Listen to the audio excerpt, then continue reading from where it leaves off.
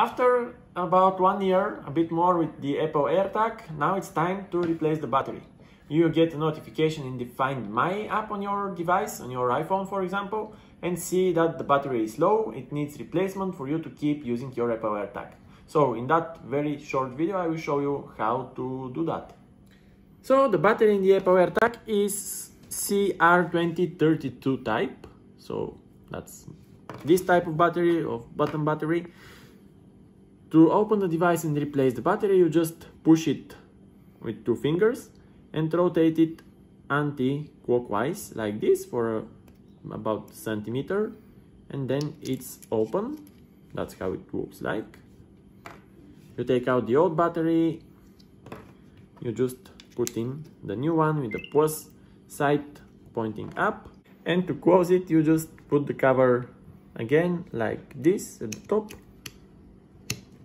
place it properly hear the brief sound that shows it's connected and rotate it clockwise this time. And that's it. Thanks for watching and bye bye